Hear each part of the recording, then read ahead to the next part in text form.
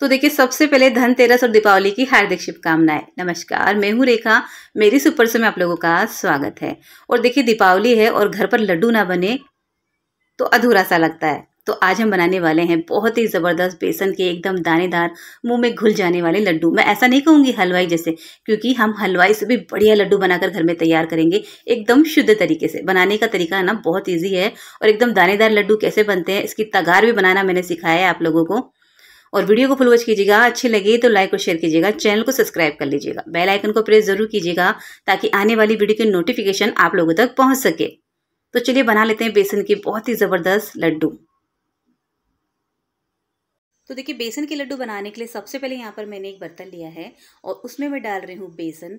तो यहाँ पर मैंने देखिए, तीन कप बेसन लिया है और मैं इस कप का मेज़रमेंट ले रही हूँ। आप कोई भी कटोरी या गिलास से माप कर ले सकते हैं।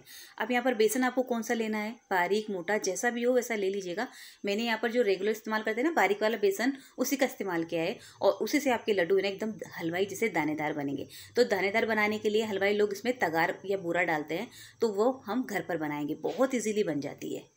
अब तगार बनाने के लिए सबसे पहले यहाँ पर मैंने एक कढ़ाई रखी है गैस पर। उसमें डाल रही हूँ मैं डेढ़ कप चीनी। जिस कप से हमने बेसन को मापा था तो तीन कप हमने बेसन लिया था तो डेढ़ कप इसमें चीनी मैं डाल रही हूँ। अब यहाँ पर आधा कप इसमें पानी डालेंगे। पानी बहुत ज़्यादा नहीं डालना है। और अब इसे लगातार चलाते हुए हमें इसे मेल्ट करना होगा। गैस को यहाँ पर एकदम स्लो रखना है। फुल बिल्कुल मत कीजिएगा। स्लो गैस रखिएगा। चीनी जो है ना, अपने आप मेल्ट होती जाएगी। इसे थोड़ा चलाते रहिएगा। और ये देखिए मैं इसे लगातार चला रही हूँ। चीनी जो है ना हल्की से मेल्ट हो गई है, लेकिन अच्छे से इसे मेल्ट होना है। बढ़िया सा इसमें उबाल आएगा। और गैस को फुल मत कीजिएगा, इस बात का ध्यान रखिएगा। यहाँ देखिए चीनी जो है ना अच्छे से मेल्ट हो गई है। अभी मैं इसे लगातार चला रही हूँ और बढ़िया सा इसमें उबाल भी आ रहा है। और ये मिनटों में ही बन जाती है, बहुत ज़्यादा समय लगता ही नहीं इसे बनाने में। तो आप इसे घर पर भी बना सकते हैं या आप इसे मार्केट से भी ले सकते हैं। लेकिन ईजिली घर पर बन जाती है। तो आप इसे घर पर ज़रूर बनाएगा अब यहाँ देखें मैं इसे लगातार चलाती जा रही हूँ। उसमें कितना, किस तरह से झाग आ गया है और किस तरह से ये फूल रही है। और चाशनी हमारी है ना, एकदम साफ़ है। अगर आपकी चाशनी साफ़ नहीं हो तो आप इसमें दो से तीन चम्मच दूध डालकर इसे साफ़ कर सकते हैं। लेकिन यहाँ पर जो चीनी थी ना, एकदम साफ़ थी तो चाशनी भी अच्छे से साफ़ ही दिख रही है। अब यहाँ पर देखिए, किस तरह से इसमें झाग बन रहे हैं। बड़े बड़े से झाग बन रहे हैं। जब ये बन जाएगी ना तो एकदम बारीक बारीक से झाग बनेंगे और साइड में है ना बुरा सा चिपकने लग जाएगा।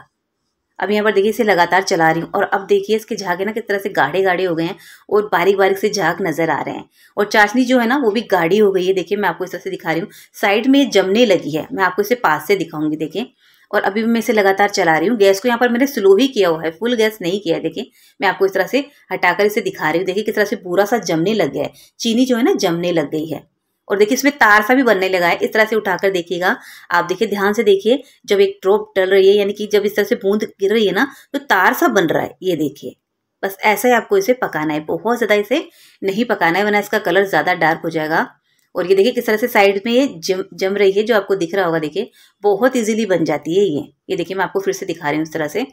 और जब ये ऐसे जमने लग जाए ना, तब आपको क्या करना है, इसमें डालेंगे हम थोड़ा सा घी। इससे क्या होगा ना इसमें एक चमक सी आएगी और टेस्ट भी अच्छा होगा। तो यहाँ पर आधा चम्मच घी डाल रही हूँ और घी डालते ही आपको इसे क्या करना है? गैस को ऑफ़ कर देना है और लगातार इसे चलाना है। गैस यहाँ पर मैंने ऑफ़ कर दिया है, देखिए, और लगातार मैं इसे चला रही हूँ।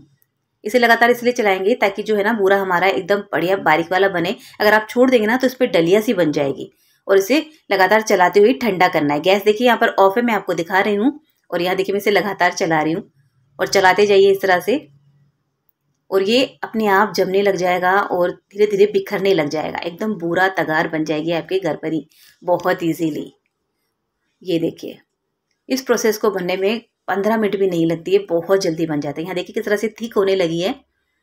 और ये देखिए थोड़ा थोड़ा ये और थिक हो जाएगी। अब यहाँ देखिए किस तरह से ये थिक होने लगी, लेकिन मैंने इसे छोड़ा नहीं है, इस तरह से चलाती जा रही हूँ। अब यहाँ देखिए जो बुरा है ना, किस तरह से बन गया है और बहुत ही अच्छा लग रहा है। अब यहाँ पर क्या करेंगे? छन्नी लिए मैंने, उसमें इसे छान लेंगे ताकि जो भी इसमें मोटे चंक्स होंगे ना, उन्हें क्या करेंगे? हम मिक्सी के जार में डालकर पीस लेंगे। तो पहले क्या करती हूँ, मैं सारी बूरा को छान लेती हूँ ताकि जो भी डलिया वगैरह थोड़ी बहुत रह गई हो, वो ऊपर ही रह जाएगी। अब यहाँ देखिए, थोड़ा सा जो बचा था, मैंने मिक्सी के जार में डाल दिया और इससे पीस कर इसे भी इसी तरह से छान कर इसमें डाल दूँगी। अब यहाँ देखिए, मार्केट जैसा बूरा आपके घर में ही बनकर तैयार है। लग रहा है ना एकदम बढ़िया। आप पेड़े वगैरह बनाने में इसका इस्तेमाल कर सकते हैं। अब इसे उठाकर साइड में रखेंगे। गैस पर मैंने कढ़ाई रखी है और यहाँ पर मैंने लिया है एक कप घी। घी को थोड़ा सा मेल्ट करके लिया है। बहुत ज़्यादा मेल्ट नहीं है, थोड़ा जमा हुआ भी है इसमें।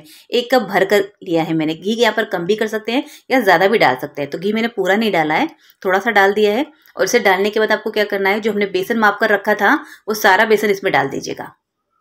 अब यहाँ पर इसे आपको लगातार चलाते हुए भूनना है। तो यहाँ पर घी हम थोड़ा थोड़ा करके डालते जाएँगे इसमें। अभी थोड़ा सा घी डाला है मैंने और अच्छे से इसे मिला रही हूँ। मिलाने के बाद गैस को यहाँ पर मैंने स्लो किया हुआ है। आप अपने अनुसार कम या ज़्यादा कर सकते हैं। जैसा आप भून सकते हैं वैसा भून लीजिएगा। अब यहाँ पर देखिए, घी में और डाल देती हूँ। और फिर से इसे अच्छे से चलाएँगे, अच्छे से मिक्स करेंगे। तो यहाँ पर देखिए, जब आप इस तरह से घी डालते हैं तो इसमें क्या होता है, बेसन में थोड़ी डलियाँ सी बन जाती है तो हमें भुनने में थोड़ी दिक्कत आ जाती है। तो यहाँ पर आपको क्या करना है, इसे भूनने के लिए एक और तरीका बताती हूँ मैं आपको। यहाँ पर सबसे पहले मैं थोड़ा सा घी और डाल रही हूँ इसमें। ये देखिए, और थोड़ा घी है जो मैं और बाद में डालने वाले अब आपको क्या करना है? यहाँ पर देखिए, इस तरह से जब इसमें डलियाँ सी बनती है ना, तब एक गिलास लीजिएगा जिसका नीचे वाला सरफेस एकदम प्लेन होना उससे आप इन डलियों को तोड़ सकते हैं। जैसे कि अब मैं आपको दिखा रही हूँ, देखिए, इस तरह का आपको गिलास लेना है। ये पानी वाला जो गिलास होता है ना, और आप इस तरह से ये जो डलियाँ थी, सारे जो इसमें बने हैं ना, ये डलियाँ, उन्हें तोड़ लीजिए इस तरह से।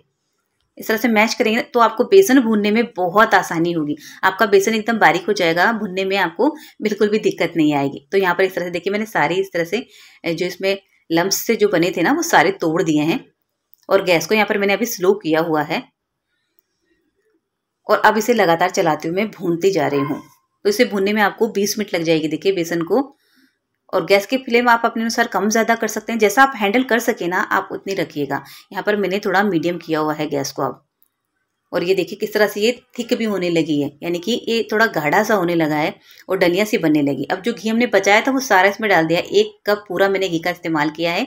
यहाँ पर आप घी कम भी डाल सकते हैं या थोड़ा ज़्यादा भी डाल सकते हैं। अब यहाँ पर देखिए, मैं इसे लगातार चलाती जा रही हूँ। जब ये इस तरह से बन जाता है ना, थोड़ी डलियाँ बनती है, तब भुनने में थोड़ी सी दिक्कत आ जाती है, यानी कि हमारा हाथ दुखने लग जाता है। लेकिन जैसे जैसे ये भुनेगा, घी को रिलीज़ करने लगेगा, तब आपको बिल्कुल भी दिक्कत नहीं आएगी। एकदम बढ़िया हलवे की तरह ये भुनने लगेगा। यहाँ देखिए किस तरह से डलियाँ बन रही है और घी इसमें काफ़ी है, देखिए किस तरह से घी आ रहा है और घी को ये छोड़ने भी लगा है। तो मैं देखिए इसे लगातार चलाती जा रही हूँ इसे छोड़ना नहीं है आपको, वो क्या होगा ना नीचे से चिपक जाएगा बेसन तो इसमें स्मेल हो जाएगी। यहाँ देखिए, घी को रिलीज़ करने लगा है। देखिए थोड़ा सा लिक्विड सा होने लगा है, लेकिन अभी इसे और भूनना है। कलर देखिए इसका। तो हमें इसको थोड़ा डार्क कलर का भूनना है, ताकि जो लड्डू भी है ना, बहुत अच्छे बने और एकदम डार्क कलर के। अगर आप बेसन को कम भूनेंगे तो क्या होगा ना, आपके जो लड्डू है ना, गले में जाकर चिपकेंगे, गले को पकड़ेंगे तो आपको अच्छे से भूनना होगा। बेसन को इस बात का ध्यान रखिएगा।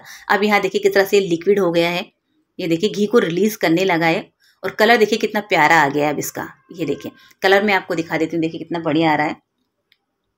ये देखिए, अच्छे से भून चुका है ये। और अभी से थोड़ा सा और भूनेंगे। इस तरह से लगातार चले जा, चलाए जा रही हूँ मैं इसको। अब यहाँ पर क्या करेंगे हम? इसे और भी दानेदार बनाने के लिए हम क्या कर रहे हैं? यहाँ पर मैं ले रही हूँ थोड़ा सा पानी। उसमें मैंने ऑरेंज फ़ूड कलर डाला है ताकि लड्डू का कलर थोड़ा अच्छा है। दो से तीन चम्मच ज़्यादा पानी नहीं डालना है। अगर आप कलर नहीं खाना चाहते ना तो स्किप कर दीजिएगा। मैंने थोड़ा हलवाई जैसा बनाने के लिए मार्केट में जैसे मिलते हैं ना कलर वाले, वैसे बनाने के लिए थोड़ा कलर का इस्तेमाल किया है, लेकिन अगर आप नहीं डालना चाहते हैं तो बिल्कुल स्किप कर दीजिएगा। यहाँ पर दो से तीन चम्मच ही पानी डालना है, ज़्यादा नहीं डालना है। और गैस को स्लो रखना है। यहाँ देखिए, मैंने दो चम्मच पहले डाल दिया था, दो चम्मच मैंने और डाल दिया है। तो दो बार करके पानी इसमें डाला है। पानी डालने से इसमें एकदम दाना सा बनता है और दाना फूल जाता है। अब बेसन का दाना होता है ना, वो फूल जाता है और एकदम हमारे लड्डू दानेदार बनते हैं। यहाँ देखिए, अब तीन से चार मिनट के लिए अच्छे से भून लिया था। पानी वानी डालने के बाद पानी अच्छे से पक चुका है। ये देखिए, किस तरह से लिक्विड सा हो गया है ना ये? बस, दो से तीन मिनट भुनने के बाद गैस को ऑफ़ कर दीजिएगा और गैस ऑफ़ करने के बाद भी आपको इसे थोड़ा सा चलाना होगा। कलर देखिए कितना बढ़िया आ गया है, क्योंकि कढ़ाई जो है ना हमारी गर्म है, अगर आप चाहे तो इसे दूसरे बर्तन में निकाल कर छोड़ सकते हैं। मैं क्या कर रही हूँ, इसे इसी में छोड़ूँगी और इस तरह से थोड़ा चलाती जाऊँगी, ताकि जो नीचे बेसन लगे ना कढ़ाई गर्म है यहाँ देखिए मैंने गैस से इसे नीचे उतार लिया है तो थोड़ा इसे ठंडा होने देती हूँ। बिल्कुल ठंडा नहीं करना है, इस बात का ध्यान रखिएगा। हल्का गर्म होना चाहिए हमारा ये बेसन का। अब यहाँ देखिए मैं इसे थोड़ा फैला देती हूँ, और अब देखिए थोड़ा सा ठंडा हो चुका है, यानी कि हल्का सा गर्म है ये, इतना गर्म होना चाहिए ताकि लड्डू अच्छे से बन सके। और यहाँ देखिए किस तरह से लिक्विड सा हो गया ना, घी कितना अच्छा है इसमें। अब यहाँ पर डाल रही हूँ आधा चम्मच इलायची पाउडर। इससे टेस्ट बहुत अच्छा आता है फ्लेवर बहुत बढ़िया आता है। तो अच्छे से इसे भी मिक्स कर दीजिए। यहाँ मैंने बढ़िया से इसे मिला दिया है। और जो हमने तगार बनाकर रखी थी, तगार, बूरा, इसे ही कहते हैं। देखिए, काफ़ी लोग मुझसे पूछते हैं कि तगार क्या होता है, बूरा क्या होता है तो ऐसी तगार भी इसे कहते हैं, बूरा भी इसे ही कहते हैं।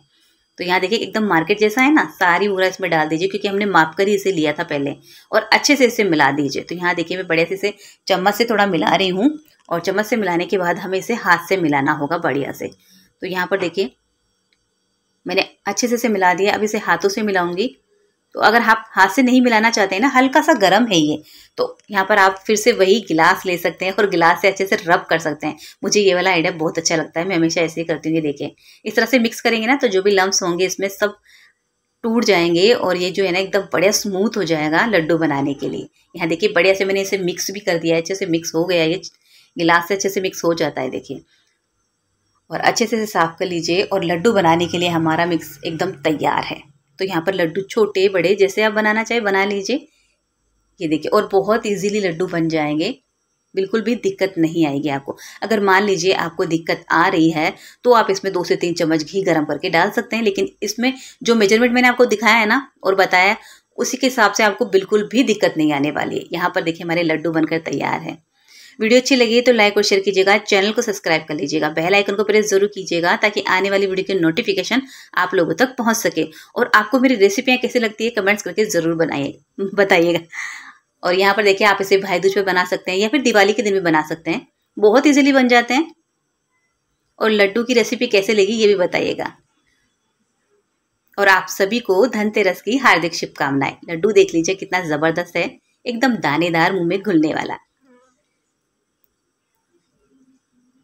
वीडियो देखने के लिए बहुत बहुत धन्यवाद।